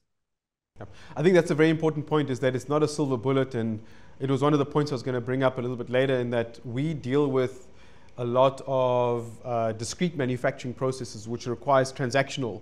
You know, you spoke about earlier about batch size one. When I'm building a, a BMW axle and every axle is different, I have to make queries directly to databases to figure out what is the part number of this particular axle. And that's very transactional and time dependent. Um, within you know 50 milliseconds, I need to do the transaction to the database and figure out what's going on, which is very different to what the unified namespace is trying to achieve. It's two different things. And I think it's about at the end of the production process, how do I transform that data to sit in a unified namespace so multiple people can access the data retrospectively maybe and then do analytics and these other things. It's not necessarily, at least in the context I understand it, potentially, or it's not functional to make the machine work, if that makes sense. Yes, 100%. Well put there. So um, again, here quickly, uh, typically when you have got all of this information within the unified namespace, you've got normalized information, contextualized, and, and you've got all these um, uh, well-modeled objects. Now, because they, with the, within the unified namespace, you only get the current state, that snapshot. If you need to historize that information, you've got like a, uh, a historian that can connect uh, either directly or through an IoT platform to the unified namespace, and then you historize all of that information, which makes it easy then now to go into um, give to data scientists, uh, for example, for uh, going through this information that has already been contextualized and normalized, which makes it easy to make sense uh, of the data. And also, if that information that, that is in the history is, uh, is given to the data scientists, they come up with insights, then they can push those insights back to the unified namespace to say, such and such an equipment is predicted to fail on such and such a date. So whoever is is what is, is whatever component is operating in real time has got context that such and such an event will occur in such and such a date. So this is kind of like how all these systems come into play. Okay, so something's confusing, a little bit confusing for me. Um, is unified namespace inside HiveMQ, or is HiveMQ inside the unified namespace? Just looking at your graphic here. So HiveMQ technically holds the unified namespace. So yeah. the unified namespace is inside Hive MQ. Yeah. Right. That current state, that snapshot is within the MQTT broker itself because this is where all the information is retained. All the, the, the structure of the of, of, of the information is retained, but it is produced outside of Hive MQ. So yep. that information is being pushed, say, by an IoT platform. So maybe I, I maybe I don't maybe I think the the graphic maybe is a bit uh, uh, uh, uh not not doesn't reflect that yep. clearly, but that's the idea that the unified names is is Hive MQ holds that snapshot. It holds yep. that picture. Okay. Okay, so maybe this is also just kind of like to give you um, a reference architecture just to show how in a real world setup this kind of like uh, looks like. So typically you would have say um, maybe you already have in your production environment you already have uh, uh, uh connectivity uh, tools like Kep server that are already connected to your uh, systems and exposing that information either through OPC UA or MQTT. So if that information is being exposed through MQTT, which uh, Kep server already uh, uh, allows you to do, that information is pushed to uh, an MQTT broker. So typically what you'd have is that for each site, you'd have uh, an MQTT broker. Now, again, this is not um, sort of like a, a fixed rule as it were. This is kind of like a guideline. So I've seen situations where, especially in the States, where you've got people who've got multiple brokers within a factory arranged many different ways. So this is kind of like just to give you an idea of how it could look like, but it is really up to the architect uh, how they're going to, to, to, to structure that based on a lot of different factors. So this would like you have a broker for each site. The broker, MQTT broker of the site is kind of like to create a unified, a local unified namespace and manage the coordination of information within that site. And you've got applications like Kep that are pushing MQTT but because Kep Server doesn't give you the ability to really eh, contextualize the data, the flexibility to, to prepare your MQTT data, so that information is going to be published as it is as a raw data into the into the MQTT broker. And then you've got connectivity tools like Edge again, which allow you to connect to OPC UA, Modbus, and MQT and other MQTT because it's got a broker, and then push that information to the side broker. Now, because you've got raw data, it's not much of much use in the unified namespace if it's raw. The unified namespace is about contextualized information. So typically you'd have an IoT platform subscribe to the same broker, get all of that information out, and then start to prepare it for consumption by other systems within that domain and outside of that domain in the business domain. Because if you send that uh, Kep Server MQTT data up to business as it is, it's not going to be of much yeah. sense because it doesn't really uh, make sense. And then it pushes, same applies with different site. And then you could have then one central MQTT broker enterprise, perhaps in the cloud or in a data center that is being uh, uh, uh, that is communicating with these uh, site level brokers and exchanging information to give a universal snapshot. Got it. Okay, and then maybe just quickly, this is kind of like really an example of what it would look like, say, um, a unified namespace, that hierarchy of information, where you've got um, uh, your, your, your, your packaging. So within an MQTT topic, you're able to uh, insert information. So here, for example, within a particular cell, you can have MES information where you've got your quality information, maintenance, you've got the KPIs, and then from that, you, you've got OEE calculations, MTTR calculations, and then the ad hoc calculations that I mentioned that are specific to solving problems that are there. And the, these MES ERP namespaces, they don't necessarily need to live within a cell. It really depends on how your your your your your organizations arranged. They could live within a line and so on. So there's that flexibility. But the idea is that at the end of the day, what you end up with with the unified namespace, if this if this something that you can take away from this is that what what you end up with to your, to your point again of this golden roof houses is that what you end up with after implementing the unified namespace is you've got a platform for continuous innovation with data. You've set up this foundation, you've collected data out from all your different systems, you've contextualized it, and then you've put it into a central, freely and openly accessible uh, uh, hub where any participant that's going to come today, three years later, or whenever, and they need data to make decisions, they simply need to plug in and then use that data to drive decisions. So you're, you're, building a platform for continuous innovation as opposed to just connecting application to application, right?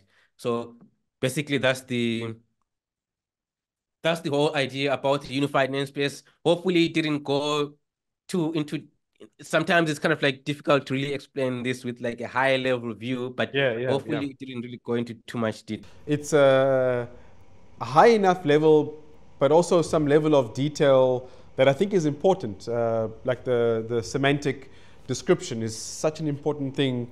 Um, if, a, uh, if a plant manager has to understand the details of their manufacturing process, I think it's now as important that they understand the data process as well. Um, the job is now different. If you're going to really use data to transform your manufacturing operations, that level of detail is important. Maybe the coding behind it is not that relevant to a plant manager, but you know, knowing that there's a, a semantic hierarchy and why that's important, uh, I think is critical. And I think that uh, was uh, fantastically exposed in your in your in the presentation. So. Um, the one question I was going to bring up before the presentation, I think we discussed it already about the unified namespace is not the silver bullet, and I think we've kind of addressed that already. So I'll, I'll, I'll skip that, and I think that's the.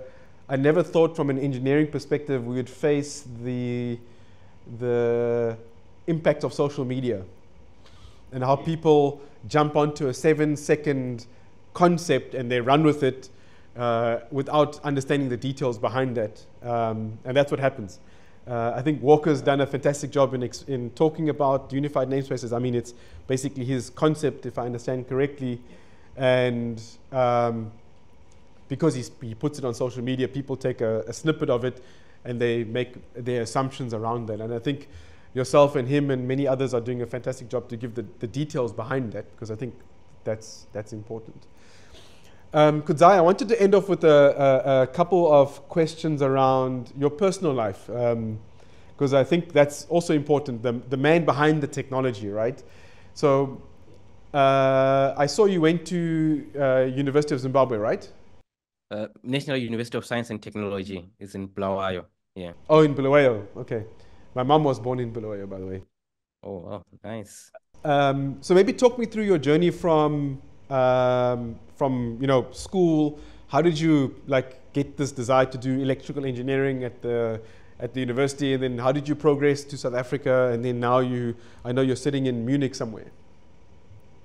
Oh yeah, absolutely. So yeah, again, so I was um, born and raised in Bulawayo, Zimbabwe, and then um, I mean, from like from an early age for me, uh, the fascination was around um, robotics, automation, but it wasn't so clear to me at the start what what that really entails or uh, what what you need to study study for that or where is that applicable or is it in manufacturing? Like just the fascination of of just of making things come to life in an automated way for me. That was kind of like really the the the the um the attraction the, attraction right? So uh, and then went on to uh, study electronic engineering. So I actually studied electronic engineering at um, uh, at the National University of Science and Technology in um, in Zimbabwe. And then uh, the first um, uh, fascination or like the first draw toward that fascination of automation was embedded systems design because this is kind of like really where I thought, okay, so this is really what it is about, right? So being like that, the programming microcontrollers, controlling some motors and this kind of stuff is really what I started off um, uh, uh, with in, in, in the early stages. And then I... What, what was uh, your first microcontroller that you so, made something move with? So my MS first microcontroller was the uh, so I, I, was kind of like really programming um uh microchip PIC PIC oh, uh, microcontrollers. Well. Yeah, I think it was. Me you programmed in assembler. Did you have to learn in assembler? Yes, yes. So yeah. actually, I started. Actually, I was taught in assembly language, and then I taught myself C after uh, yeah, yeah. Uh, college, right? So um, I was uh, taught assembly language, programming, a PIC microcontroller, 16 16F877, like the 8 wow. bit, yeah, 8 bit microcontrollers. I, I, think I learned on the same one, I think. Oh, wow. Is it? Yeah, it was quite a popular uh, uh, microcontroller, that one. And and then I I I I I, went to Harare uh, in Zimbabwe still, and I think that was for attachment, like um, uh, uh, internship in a way. Uh, and I remember I was like this professor was programming these microcontrollers and he had this huge block of um, assembly code, right? And then already I had already uh, started to program microcontrollers in C. And when I was when I was starting to build those um, uh, my programming languages, like program those, those microcontroller programs in C, like everyone was just kind of like shocked that Okay, so you could actually do this in like few lines of code because now everyone in the company was used to programming in assembly. Even the it, this kind of like really shows the the power of leadership because my sense is that um uh, well it was easier for the professor to to to teach assembly and and maybe because it seems to me that it, there was no encouragement for for for for students coming to learn there to understand that there is more efficient ways. Of course, it's, it's, it's always good to appreciate the under underlying workings of things, right? But it's also important to to teach efficient ways of of of of uh, of solving problems because honestly, this is kind of like where the world is going. If you if you if you can't come up with an efficient way of solving problem, if you if you are not productive, it doesn't matter how much skill you've got, if you know the whole encyclopedia, if you can't be productive as a as a human being, you, you, can't be competitive, right? That's that's the that, that that's the thing. So that kind of like really where I started doing it and started teaching within that um uh, uh, uh, uh, uh company. Right? It was yeah. kind of like government uh, research center. So this okay. is my point is kind of like this is where my passion for teaching really started teaching these concepts because I just I was forced to teach other students that I was with at that time how to do it in C, how to use tools and and, and program better. And then from there, I um, after graduation, I moved to South Africa. I was um, in the uh, Witpoort Krugersdorp area. So there's a company there that I was uh, working for, and uh, they were in the gas detection uh, uh, uh, company, and they were serving the mining industry around that belt here, around Krugersdorp. And basically there we were kind of like building embedded systems and we're connecting these embedded systems to software applications, getting the data out. And this is really where the spark of data, like using data to make decisions, really was ignited uh, for me because I, and actually because I didn't know anything else, it, it seemed obvious to me, right? Okay, so obviously if you have got instruments that are deployed across, you'd want to know what was going on at such and such a time, what were the levels of carbon monoxide, this and that. So we're collecting this data as a value add and giving it back to the mining because the company was a subsidiary of a German company. The German company didn't provide that stuff.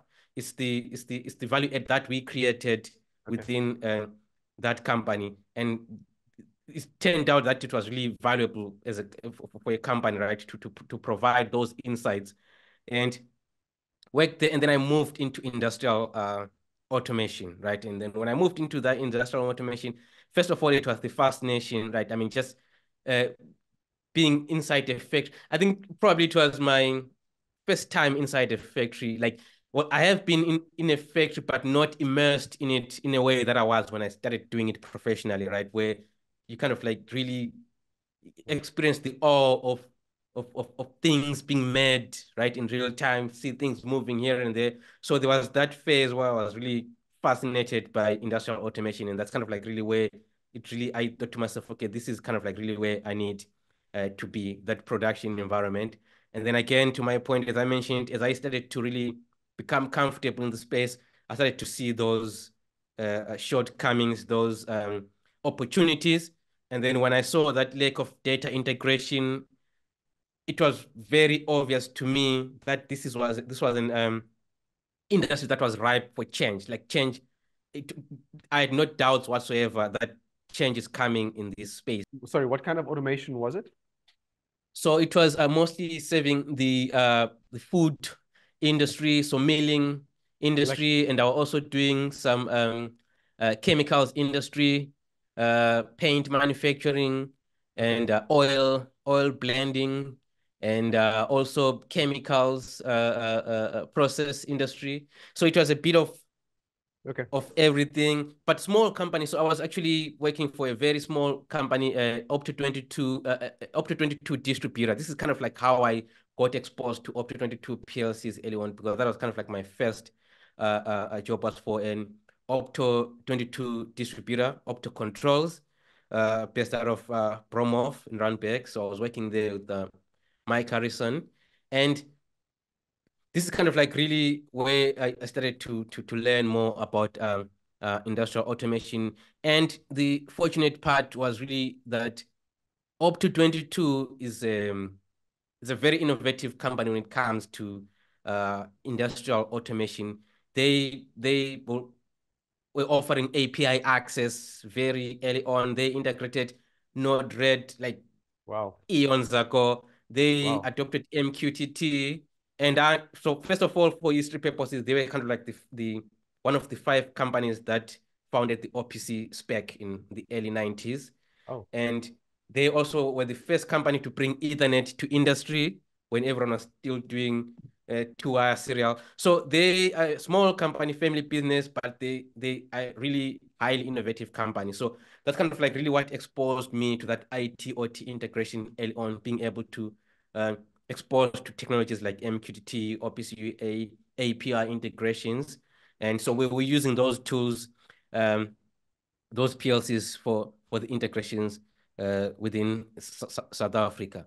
So, and then I started to, to, to, um, to learn more about, and in, in, initially I didn't know it as IoT. So like maybe yeah. IoT might have come across me some, some, somewhere, somehow, but when I started to explore it more and then I started to understand, okay, so this is actually a thing, right? This is industrial IoT is kind of like something that is being uh, it's a wave. So I think the German uh, uh, government coined Industry 4.0, that is 2012, right? Yeah. yeah. And then, so for me, that was kind of like three years later, where I was kind of like starting to understand that. And then I in investigated it some more. And then as I did that, try to understand, get information, this is where it dawned on me that this is something that not many people are aware of, not many people are looking at, not many people are creating content around. So that was also a way, as a way of solving that pain for me. I started to create content as a way of teaching myself, right? Teach by sharing. And then as I started to, to, to do that more and more, it turned out that I somehow had a knack for explaining these concepts and really resonated with a lot of engineers across the world. And then people started asking for more information about this and that. So this is where I kind of like doubled down on the uh, on the content creation side of it, right? And then eventually I left the um, company, but I was still doing some uh, consultancy uh, jobs here and there. But now I'm starting to focus more on um, uh, industrial IoT and content creation side of things. And then um, uh, uh, I, I, met uh, Dominic from HiveMQ. We were connected on LinkedIn, and we I had him once on my podcast.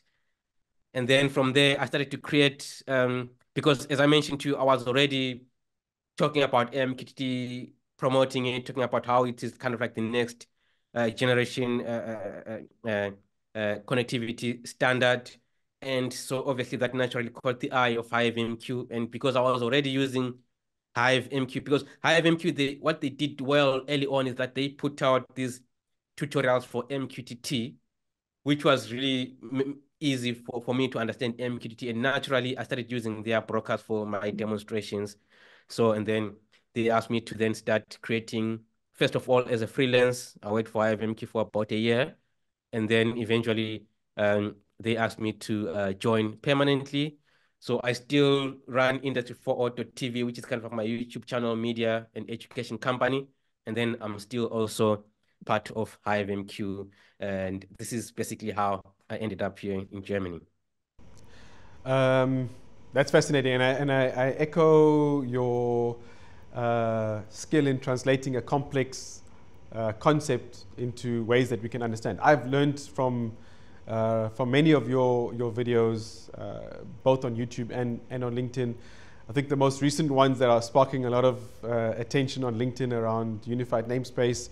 But I think that's really important that you um, we have those conversations. Um, so yeah, fantastic. That's that's that's an amazing journey. Um, it just shows you that uh, if you identify your passion early on, let that drive you. Can take you anywhere, right? Hundred percent. Hundred percent. It's really um, about identifying your passion early on. Yeah, and for you and, and, definitely for me, I feel like we've been lucky that there was something early on that drew us towards this space. I find a lot of young people, um, not only now, but even in the past, that were a little bit lost in their early years to figure out what they enjoy. And they often study something and then realize they, they actually enjoy something else once they get exposed. But I guess you and I were lucky that we were somehow exposed to this world of automation, moving things uh, early on, which, which was our guiding light, uh, I guess, at the end of the day. Well, I think we pretty much really uh, just covered much of the uh, uh, of the conversation around uh, the unified namespace. But basically, maybe as parting thoughts, what I would say is is is the I can't stress enough the uh, uh, important. So, I mean, again, I call it whatever name, doesn't need to be unified namespace or whatever. I'm unemotional about it, but I can't stress enough the importance of having that platform for, for innovation, because I think this is where most eh, miss the point, right? They don't get that this is a, you're effectively creating a platform that allows you to to innovate at a, at, at a rapid rate, which is kind of like really what you need to stay competitive uh, uh, in this uh, landscape, right? And I can stress enough the importance of setting that foundation first and getting it right, as opposed again, to your point, the uh, golden roof strategy of just connecting things and seeing things light up and then saying, oh, wow, we've, we've, we've, we've got uh, some data coming through. So it really needs to be a well thought out data architecture that once done well, you just continuously innovate unhindered. So no golden roof on shaky foundations. Start at the unsexy, you know, sometimes unappreciated foundation, which is what you describe in your presentation, and then start to innovate because then it allows you to continuously innovate, not just innovate once. A hundred percent.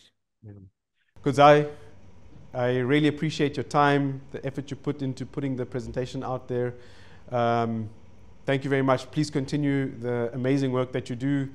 Um, yeah, thanks a lot.